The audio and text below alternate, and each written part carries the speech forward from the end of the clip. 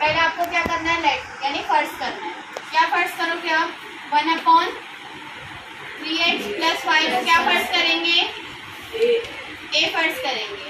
और one upon three x minus y को क्या फ़र्स्ट करेंगे? बी फ़र्स्ट करेंगे। अब आपकी जो इक्वेशन बनेगी वो फ़र्स्ट इक्वेशन क्या बनेगी? A plus A plus B equal to three upon four. और सेकेंड इक्वेशन क्या बनेगी? यहाँ पर भी टू है तो आपको अपॉन में क्या लिखना है? टू लिखना है। यहाँ पर भी आपको अपॉन में तो पहला पॉइंट है डायमैग्नेटिक का कि मैग्नेटिक फ़ील्ड क्या करता है? वो रिपल करता है। बराबर? दोनों मेरे पास क्या मैग्नेटिक फ़ील्ड है? हाँ इसमें कुछ नहीं रखता हुआ खाली मैग्नेटिक फ़ील्ड है। अब मैं क्या करता हूँ इस मैग्नेटिक फ़ील्ड में मटेरियल रखता हूँ। उसका नाम हुआ डायमैग्नेटिक मटेरियल। तो समझे मैग्नेटिक फ़ील्ड में मैं रख दिया डायमैग्नेटिक मटेरियल अभी।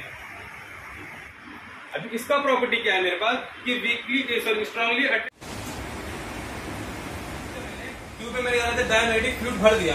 अब डायमैग्नेटिक का प्रॉपर्टी क्या है? वो मैग्नेटिक फ़ील्ड से मैग्नेट से दूर भागता है। दूर भागता है। अगर मैं इधर में मैग्नेट से बाजू में लाऊँगा तो जो फ्लूइड ऐसे दूर भागेगा, इधर तो आएगा नहीं, इधर आएगा तो सिर्फ़ मैग्नेटिक करीब आ जाएगा।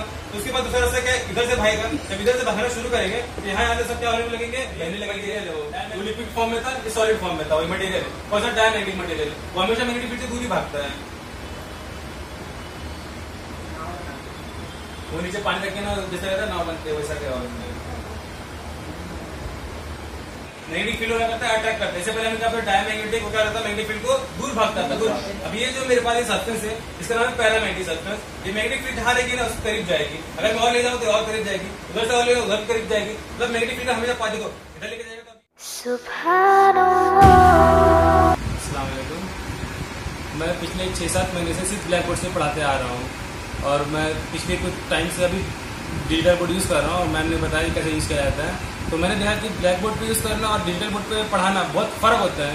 भाई तुम ब्लैक बोर्ड पर पढ़ाओगे तो तुम डायग्राम अच्छे से नहीं बना पाओगे थ्री डायग्राम नहीं बना पाओगे सिंपल डायग्राम बनेगा टू डायमेंशन डायग्राम बनेगा, तरह तरह के पेन यूज़ नहीं कर सकते। लेकिन डिजिटल बोर्ड पर कैसा होता है, तुम गूगल से चाहे वीडियो डाउनलोड कर लो, चाहे फ़ोटो डाउनलोड कर लो, यहाँ पे दिखा सकते हो थ्री डायग्राम बना के दिखा सकते हो डिजिटल बोर्ड से डिफरेंट तरह के पेन यूज़ कर सकते हैं, यहाँ पे।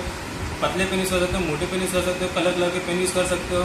साथ ही साथ में इसमें देखा जाए ना, एक अच्छी बात ये होती है ना कि बच्चों को जो चीज़ बोर्ड पे समझ में नहीं आता ब्लैक बोर्ड पर समझ में नहीं आता ना, यहाँ पे वीडियो भी दिखाया जा सकता है प्रोजेक्टर के थ्रू पे। डिजिटल बोर्ड है तो प्रोजेक्टर पे लाके हम यहाँ पे वीडियो दिखा सकते हैं। तो वीडियो भी दिखा सकते हैं फ़ोटो भी दिखा सकते हैं।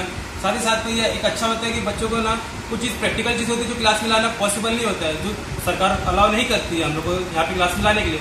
लेकिन इस बोर्ड पे वीडियो बहुत सारे अवेलेबल होते हैं यूट्यूब पे।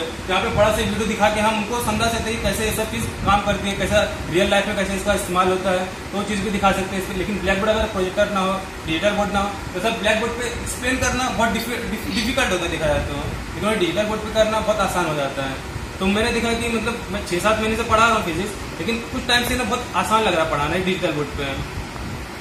मतलब हमारी क्लास में अभी डिजिटल बोर्ड से हम पढ़ रहे हैं तो उससे हमें कोई डायग्राम वग्राम कुछ, जैसे कि सर पढ़ाते हैं तो हमें कुछ डायग्राम समझ में नहीं आता। तो सर हमें थ्री से पढ़ा से मतलब समझ में आया है हर चीज़ में मतलब डिटेल में गए हम लोग तो हम लोग को अच्छा लगा आज। तो हमें डिजिटल बोर्ड पर पढ़ने, पढ़ के तो सर ने पढ़ाया तो हमें अच्छा लगा पढ़ते हुए। वैसे बोर्ड पर कुछ कुछ चीज़ें समझ में नहीं आती थी तो सर ने डिजिटल बोर्ड पर जो सब चीज़ें पढ़ाया, जो सिखाया, जो चीज़ें इमेजेस वीडियोस जो दिखाए डिजिटल पर सिखाया गया तो हमें अच्छा लगा पढ़ के। जो बोर्ड पे तब कुछ कुछ चीज़ें जो थी जो कॉन्सेप्ट क्लियर नहीं होते थे वो कॉन्सेप्ट क्लियर हो गए? हाँ। अच्छा। मेरा फ़र्स्ट एक्सपीरियंस था डिजिटल बोर्ड पे। आज पढ़ के बहुत अच्छा लगा। और फ़र्स्ट पहला दिन था आज डिजिटल बोर्ड पे पढ़ने का। तो कोई कोई चीज़ें रहती है जो बोर्ड पे नहीं समझ में आती है डिजिटल बोर्ड पे समझ में आ जाती है। वीडियो के थ्रू तो लोग ने फ़र्स्ट टाइम डिजिटल बोर्ड पे मतलब चैप्टर पढ़े हैं। और हम लोग को बहुत इंटरेस्टिंग लगा। उसमें हमें चीज़ें आसानी आसानी से सम, समझ में आ रही हैं। और उसमें अगर हमें कोई डाउट है तो हम वीडियोस के द्वारा उसके कॉन्सेप्ट क्लियर कर सकते हैं। मेरा नाम जिक्रा मैं इलेवन साइंस से हूँ। और अभी अभी क्लासेस में आज पहली बार डिजिटल क्लासेस डिजिटल बोर्ड पर पढ़ाई की गई है। ऐसे उतना इंटरेस्ट नहीं रहता है बोर्ड पे पढ़ने पर, लेकिन आज डिजिटल बोर्ड पर पढ़ाया गया तो इंटरेस्ट थोड़ा बढ़ गया।